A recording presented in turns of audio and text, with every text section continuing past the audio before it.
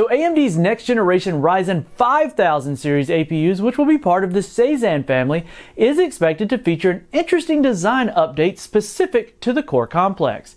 The Cezanne APUs will utilize AMD's brand new Zen 3 cores, which will deliver a marked improvement over existing Renoir 3rd gen APUs. This video is brought to you by HP and their Envy X360 and Omen 15. Whether you're looking for a lightweight notebook featuring AMD's Renoir powered 7nm mobile processors or a frame rate churning Intel 10th gen CPU with an NVIDIA 16 series graphics card solution, HP has you covered on both flavors. Follow the link in the description for excellent savings. The latest details comes from Twitter via Patrick Schur, who has tweeted out that AMD Cezanne APUs which will be marketed under the Ryzen 5000 series CPU segment, will offer the Zen 3 cores with an updated design hierarchy.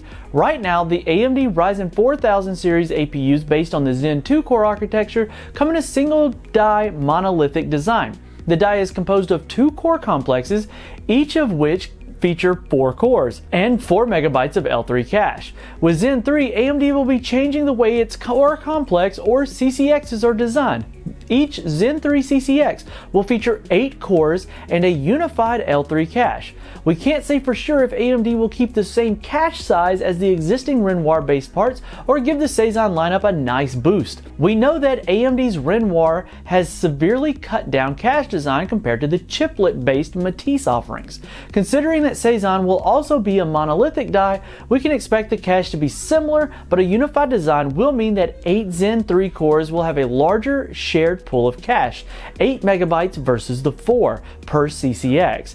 As for variants, an 8-core Cezanne APU was discovered by Patrick. The chip features an OPN code of, let's see if we can get this on video, 100-000000285-30 underscore Y. If I got that wrong, let's know in the comment section below, but it is reported that this chip features 8 cores and 16 threads. The chip was spotted with A0 stepping and seems to be a very early variant with a base clock of 3 GHz. Now AMD could go for a higher number of cores with a dual CCX design, which would double the number of cores and threads on the mobility platform again. That's huge.